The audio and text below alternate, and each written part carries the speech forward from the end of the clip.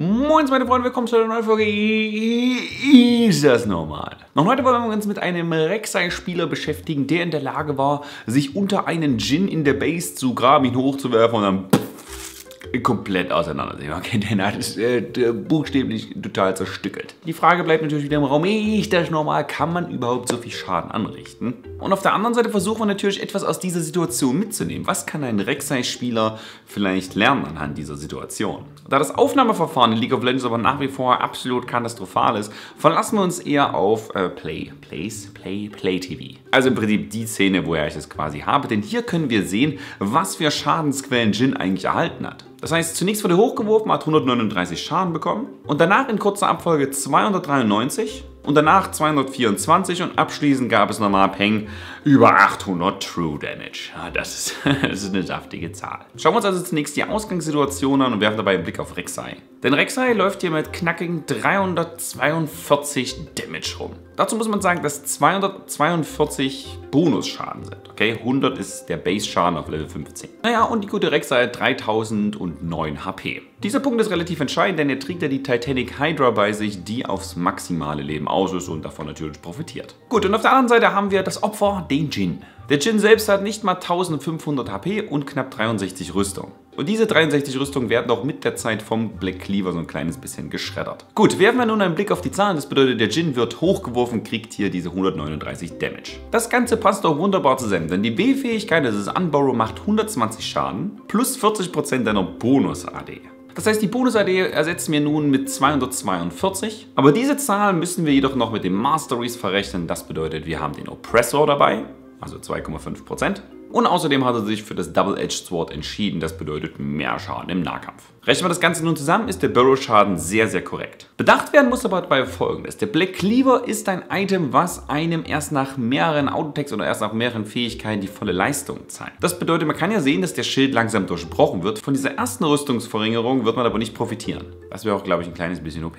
Verrechnen wir nun diesen Schaden mit den Rüstungswerten von Jin, kommen wir ziemlich genau auf die 139. Machen wir nun weiter bei diesen 200er Schadensquellen. Denn 293 Schaden ist schon ziemlich viel, aber gerechtfertigt. Das bedeutet, der Rek'Sai-Spieler hat 342 Base AD und bezogen auf die Q-Fähigkeit kriegt er quasi Bonusschaden dazu. Das wären hier 55 als fester Wert und nochmal zusätzlich 20% seiner Bonus-AD. Wenn man das Ganze nun mit den Masteries, aber auch mit den gesenkten Rüstungswerten wohlgemerkt von Jin verrechnet, wird man feststellen, dass man genau auf den Wert kommt. Gestört ist aber nun der zweite und das ist die aktive vom Titanic. Und im Prinzip ist das eine lustige Synergie. Denn diese Aktive nimmt 40 Schaden plus 10% eurer maximalen HP. Das bedeutet hier ungefähr 340 Schaden. Das Ganze wird auch nochmal mit der Rüstung verrechnet und man kommt ziemlich genau auf den Wert. Gestört ist aber nur, dass der Schaden von der Titanic hintereinander gewertet wird. Das klingt jetzt so ein kleines bisschen seltsam, ist aber entscheidend für genau solche Faktoren wie den Black Cleaver. Denn es wurde zuerst der normale Angriff verrechnet, der wiederum Rüstung geschreddert hat. Und bei der Berechnung des Titanic Damage arbeitet man mit weniger Rüstung, weil diese wurde ja durch den Black Cleaver aufgehoben. Man ist also mit Rek'Sai technisch gesehen mit einer Combo in der Lage, extrem viele Stacks auf den Gegner zu bekommen. Das bedeutet, den ersten Black Cleaver Stack erhaltet ihr beim Rausgraben, beim Unburrow. Danach macht ihr einen normalen Q-Auto-Attack und danach einen Reset mit eurem Titanic, was euch zwei Stacks bringt. Sind wir also schon bei vier. Und dann könnt ihr die E-Fähigkeit drücken und habt schon fünf Stacks auf den Gegner gepackt. Und das innerhalb, wenn man schnell arbeitet, innerhalb einer Sekunde oder 1,5 Sekunden. Das ist nicht schlecht und vor allen Dingen ist es ja auch ein AOE-Effekt, beziehungsweise nicht alle Stacks, aber viele davon. Der Titanic On-Hit-Schaden wird also doppelt verwertet, was für den Black Cleaver echt praktisch ist. Naja, aber bezogen auf den letzten 819er True Damage hier gilt es zu sagen, dass es die E-Fähigkeit war. Denn wenn Rexa ihre Wutbar komplett aufgefüllt hat, ist die E-Fähigkeit nicht normaler, sondern absoluter Schaden. In diesem Beispiel sind es 240% ihrer Gesamt-AD und wenn man 2,4 mal 342 rechnet, wird man ziemlich genau auf diesen Wert kommen. Nun ist die Frage, was lernen wir daraus und was können wir mitnehmen? Der erste Punkt wird sein, lohnt sich vielleicht Rexa immer offensiv zu bauen? Wenn man auf Pro Build schaut, beziehungsweise generell wird man feststellen, dass die Warrior, aber auch immer noch die Cinderhulk-Variante existiert. Die Warrior nun aber mit Black Cleaver und Titanic zu kombinieren, ist, finde ich, mit einem gewissen Risiko verbunden. Wir konnten das bei der ESL-Meisterschaft beobachten, als ob wir es ebenfalls ein sehr, sehr offensives Itembild an den Tag gelegt hat und auch übelst zerstört hat. Aber es gab einen Moment, wo das gegnerische Team zurückkam und er als Rek'Sai nutzlos wurde. Rek'Sai fällt sowieso im Late Game ab, da sind sogar Grafen, die das easy beweisen. Aber ihre Grundtankiness reicht irgendwann nicht mehr aus, um den Schaden hochzuhalten. Die Denkweise ist nun, sollte man Rek'Sai also immer offensiv und immer mit sehr starken Items spielen, weil der Black Cleaver wurde ja angepasst, was nicht den Schaden angeht, sondern den Preis. Also wesentlich billiger geworden und das ist ein Gegenstand, der auf Rek'Sai extrem gut funktioniert, da sie nur auf Cooldown basiert und natürlich extrem viel normalen Schaden macht, was für die Stacks nicht schlecht ist. Hierbei muss aber immer wieder bedacht werden, Rek'Sai wird dadurch butterweich im Vergleich. Aber ist natürlich imstande, epische Schadenswerte rauszubringen, wie man an dem True Damage sehen kann.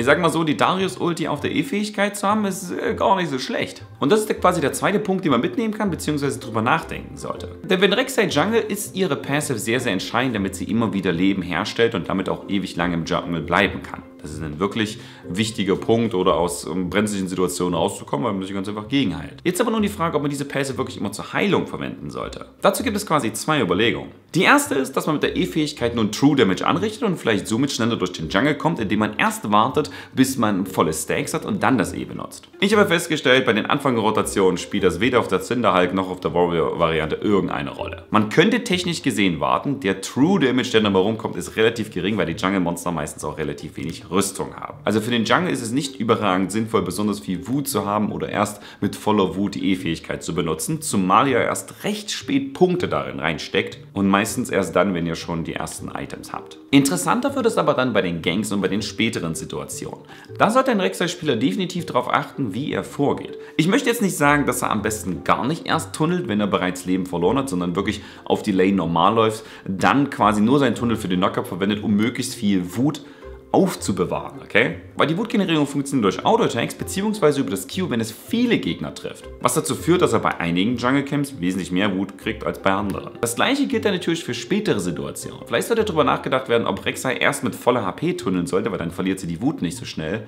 Oder wirklich über der Erde rumlaufen sollte, was aber viele, viele Nachteile birgt, weil ihr könnt nicht über Wände sehen und ihr seid natürlich wesentlich langsamer und habt weniger HP zur Verfügung. Die E-Fähigkeit aber vielleicht in den ein oder anderen Fight aufzuheben und zu warten, bis sie wirklich True Damage macht, gerade wenn ihr 5 Punkte reingesteckt habt, ist, denke ich, ein wichtiger Faktor, weil die Gesamt-AD-Wertung enorm in die Höhe schießt bei dem E-Spell. Wo man zwar sagen muss, dass die Maximierung der Fähigkeit trotzdem als zweites erfolgen sollte, weil das viele auch als letztes machen. Aber ich persönlich denke, man unterschätzt das Potenzial dieses Spells. Manchmal ist da Geduld, denke ich, ganz gut. Alles klar, ich hoffe, ihr konntet aus dieser Folge etwas mitnehmen und vielleicht kann sich ja der ein oder andere Rek'Sai-Main in den Kommentaren äußern und sagen, okay, wie spiele ich denn mit der E-Fähigkeit? Bin ich eher geduldig und warte auf den True Damage? Oder sage ich, nee, ich hau es einfach raus, wenn es geht? Gut, bis dahin wünsche ich euch einen wundervollen, entspannten Tag. Haut rein und viel Spaß beim Raid.